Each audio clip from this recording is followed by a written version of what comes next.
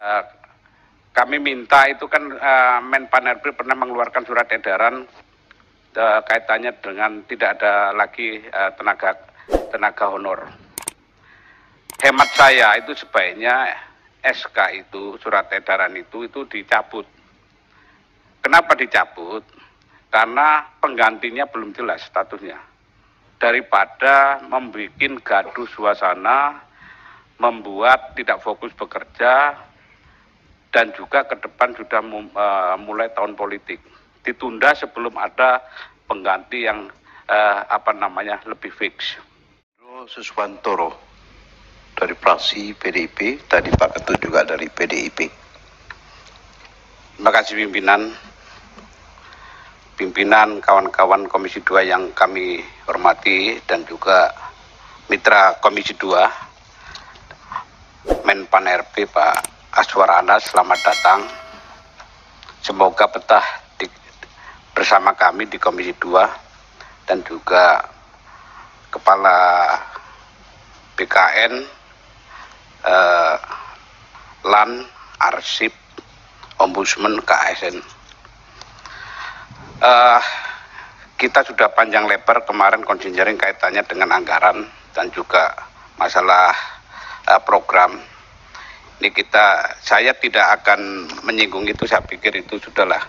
Itu uh, kita percaya kepada mitra. Jadi hanya penegasan-penegasan saja yang pada forum yang terhormat ini akan saya sampaikan. Jadi memang uh, pimpinan saya usul juga. Jadi uh, untuk rapat kali ini walaupun nanti ada rapat itu tidak usah dibatasi waktunya. Karena apa kita ini ter terkendala karena mitranya terlalu banyak. Jadi ada 16 kementerian lembaga yang bermitra di Komisi 2. Saya nggak tahu nanti KN masuk ke mana kalau Komisi 2 berarti tambah 1, 17. Nah ini kan jarang sekali kita uh, berinteraksi ataupun melakukan pengawasan rapat kerja bersama dengan mitra yang ada. Jadi uh, sekali rapat kerja biarlah ini mengalir uh, sedemikian rupa karena belum tentu kapan kita mengang, uh, mengagendakan lagi. Baik, jadi uh, yang pertama uh, saya ucapkan selamat kepada Mas Anas, selamat bekerja. Welcome to the jungle kan gitu kan kita nggak tahu anu, uh, uh, urusan birokrasi agak agak ruwet tapi Alhamdulillah kemarin kita sudah sepakat bersama Pak Ar, Pak Mardani Alisera dari PKS untuk mengantar Pak Jokowi untuk happy ending dengan uh, target yang maksimal. Nah, uh, untuk Menpa, uh, Menpan RB, jadi untuk Menpan RB, jadi kaitannya kita berpat, uh, ber, uh, bertumbuh pada bagaimana kita uh, menyelesaikan program Nawacita. Ini kuncinya, softwarenya, rohnya itu ada di uh, mitra kerja yang saat ini hadir. Nah, ini uh, yang pertama yang sebelum saya lupa saya ingin uh, minta kaitannya yang beberapa waktu yang lalu kita juga menerima audiensi uh, dari apa tenaga honorer dan juga terakhir itu uh, satuan pa, uh, pamong praja honorer. Nah, ini juga uh, kami minta itu kan uh, RB pernah mengeluarkan surat edaran uh, kaitannya dengan tidak ada lagi uh, tenaga tenaga honor.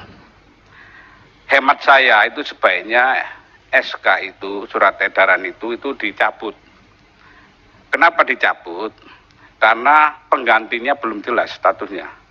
Daripada membuat gaduh suasana, membuat tidak fokus bekerja, dan juga ke depan sudah uh, mulai tahun politik. Ditunda sebelum ada pengganti yang uh, apa namanya lebih fix. Kami juga sedang dalam apa pembahasan RUU ASN yang belum selesai.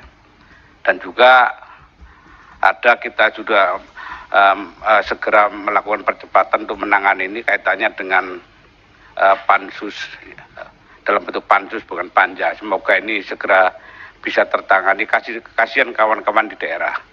Seperti apa honorer pamung praja, regulasinya kan bicara bahwa itu yang namanya Pol PP itu kan sebenarnya ASN. Tapi banyak sekali yang apa namanya yang honorer. Kita tidak bisa memungkiri suasana kebatinan mereka yang honor-honor itu, apalagi yang di daerah praktek-praktek uh, yang tidak terpuji kan banyak juga perpanjangan kontrak dipungut ya. itu suasana kebatinan mereka walaupun mereka tidak mau ngomong kalau ngomong ketahuan juga nggak diperpanjang kan gitu. kita tahu lah nah itu jangan sampai itu menjadi objek objek apa namanya uh, pungli yang ada. Itu. Uh, terus kaitannya dengan uh, ini menarik kaitannya tadi penanganan penanganan kemiskinan. Ada penanganan kemiskinan investasi iklim digital. Nah kalau penanganan kemiskinan kalau kita lihat kan sebenarnya orientasinya uh, dari apa mitra kerja itu kan yang ada di rakyat itu adalah di daerah praktek-praktek yang terjadi mungkin uh, Mas Anas kan pernah jadi bupati, jadi kaitannya memerangi kemiskinan itu bermacam-macam. Oke, kita menyelamatkan bantuan dari pemerintah, banyak dari dalam bentuk bantuan apa BN, bantuan BPNT, banyak yang di, eh, di, di apa transfer ke daerah. Ini kan praktek-praktek yang tidak terpuji, akhirnya rakyat menjadi korban dari elit pemerintahan daerah bermain terus uh, akhirnya mereka-mereka itu tidak uh, tidak transparan. Nah ini juga kaitannya uh, uh, revolusi, revolusi mental kan tugas uh, dari Menpan RB, BKN dan sebagainya kan ini juga apa bagaimana kita apa uh, apa menghadirkan birokrat yang tangguh juga.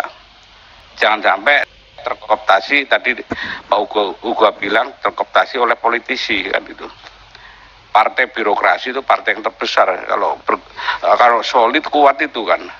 Solid dalam arti idealisme. Tapi begitu terkooptasi dia mana yang anu bermanfaat untuk dirinya sendiri terpecah-pecah.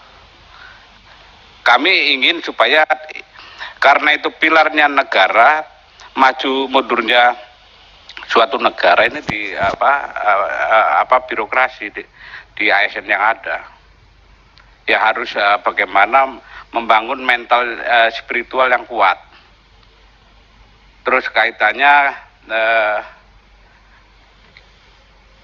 SPBE SPBE juga terkait juga harus uh, kita mempertimbangkan juga kemajuan dari uh, apa infrastruktur teknologi dan informasi kalau di Jawa mungkin di tempatnya di Jawa itu boleh lah. Di daerah-daerah yang banyak pinggir ke tempat saya itu yang double-nya Lampung ya hand, eh apa handphone geser dikit hilang sinyalnya gimana mah SPBI kan itu gitu. Nah, eh, terus berikutnya kaitannya eh, dari Menpan ini perlu saya juga pengen kajian. Ini kan ke depan ini uh, program dan uh, anggaran itu agak khusus karena apa? Kita tahun terakhir menyelesaikan tugas uh, apa namanya negara dan politik yang masih tersisa. Muncul yang kaitannya dengan PJ-PJ pemerintah daerah yang cukup lama. Itu apa, apa dikaji nggak dari apa BKN, LAN maupun Menpan RB itu kaitannya dengan dampak positif atau negatif PJ yang terlalu lama untuk dikaji.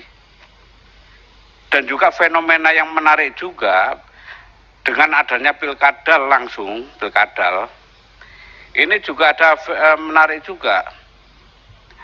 Saya nggak tahu dari KSN itu apa meng, mengawasi atau tidak. Kaitannya ada beberapa ya saya, saya, saya mendapat informasi itu uh, di mana suatu daerah PJ-nya kepala dinas sampai apa sekdanya itu lama. Sampai lebih dari setahun dua tahun itu. Pala satu daerah bisa sampai lima PJ-nya itu. Ya kita tahu sendirilah mereka muaranya ke mana supaya monolit kepada uh, pembina ASN-nya gitu loh, termasuk anggarannya. Nah ini ini saya sudah bicara dengan Menteri Dalam Negeri, saya ingin bicara juga dengan Menpan RP supaya ini pengawasan ini seperti apa? Apa karena bidding atau lelangnya lambat atau seperti apa? Itu datanya saya dapat informasi banyak begitu.